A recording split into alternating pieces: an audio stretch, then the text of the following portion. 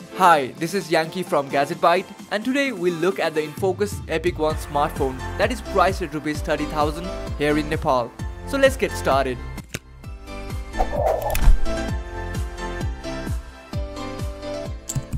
Probably the best feature of the Infocus Epic One is the design as it stands out among everything else. I was impressed by the design of his back as it features a high quality brushed metallic back. It has a premium feel to it when you are holding it in your hands. Having said that, the smooth and glossy back can result in the device being extremely slippery. But the rounded edges make the Infocus Epic One comfortable to hold. The design at the front however looks bland and odd also the front bottom bezel is something I didn't like about the phone. Talking about the display, it sports a 5.5 inch IPS display with full HD resolution. Right off the box, the first thing you notice about the display is that black band. Other than the annoying black band, the display is quite vibrant and colorful. It is not quite saturated and popping like that of an AMOLED display, but it is still good. I had no problems viewing the screen under direct sunlight. I'm also a fan of cooler displays and the Epic One didn't disappoint me. Software wise, the Infocus Epic One comes with Android 6.0 Marshmallow out of the box with Infocus's very own snappy and lag-free InLife UI on top. Right off the box, it doesn't feature any app drawer, but this can be changed by the preference setting. Even though I'm inclined towards stock Android, I didn't mind using the Infocus Epic One. Underneath the hood, the Infocus One is powered by a MediaTek Helio X20 SoC that combines with a deca-core processor with a clock speed of 2.1 GHz. The processor is aided by 3 GB of RAM and Mali T880 GPU. Now on the real life performance, the Epic One is a classic example of the statement more cores doesn't mean better performance. Well, it's not that the device lags all the time, but while playing games it stutters. The Epic One also got me worried when it heated up while playing high-end games or watching videos. This heating issue also arose when I was charging the device. Having said that, the heating issue doesn't persist while doing day-to-day -day tasks. So if you are not a heavy user, you shouldn't care about these issues at all. But if you are, you should be looking somewhere else. The Infocus Epic One houses a USB Type-C port for charging and connectivity options. Alongside the port is a single speaker grill the speaker sounds good but lacks the stereo sound effect that we all love. There is also an infrared sensor on the top of the device. The IR is a welcome addition in the device.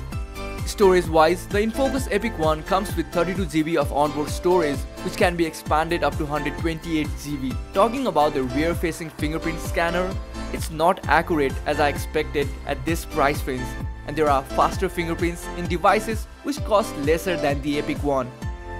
The Infocus Epic One is equipped with a 16 megapixel rear facing camera with f2.0 aperture lens. It is accompanied by a dual tone flash. Infocus has claimed the device's optical zoom to really shine, but it didn't quite live up to my expectations. However, I really liked the pictures that came out of the Infocus Epic One. They were well saturated, vibrant and colorful. In the dark environment, the pictures come out quite noisy, they however aren't as overexposed as other devices of this price range. At the front, the Epic One is embedded with an 8 megapixel front facing camera. It takes some decent social media ready selfies. It, as expected, suffers in low light. The Infocus One has dual SIM slots for hybrid nano SIM card, which means that the buyers will have to choose between a secondary SIM and a micro SD card. It does support 4G connectivity which is a necessity since Nepal Telecom has already started the service here. The Infocus Epic One is equipped with a 3000 mAh battery. On paper, a 1080p display and a 3000 mAh battery might sound like a good match, but the reality is the exact opposite. Under heavy usage, I got around 3 hours to 3.5 hours of screen on time. The battery life certainly disappointed me as I had high expectations from it. But hey, there is an inclusion of fast charging. I got from 1% to 60% in just around 48 minutes, which is pretty good in my experience. So in short, the Infocus Epic One is a device with great aesthetics, good camera and an average performance, even with a deca-core processor.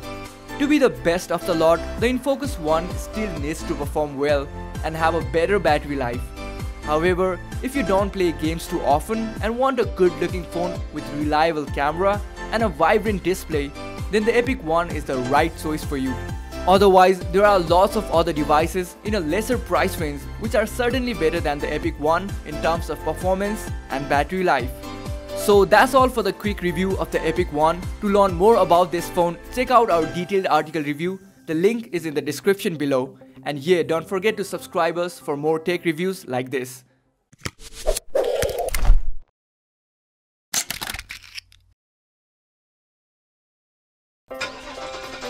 Who says you cannot control the way you surf the internet?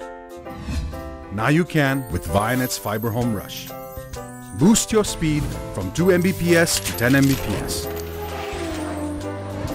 Save your high-speed data whenever you want. That simple. To subscribe, call us now 4-217-555 or visit our website. Vianet, the best thing that happened to internet in Nepal.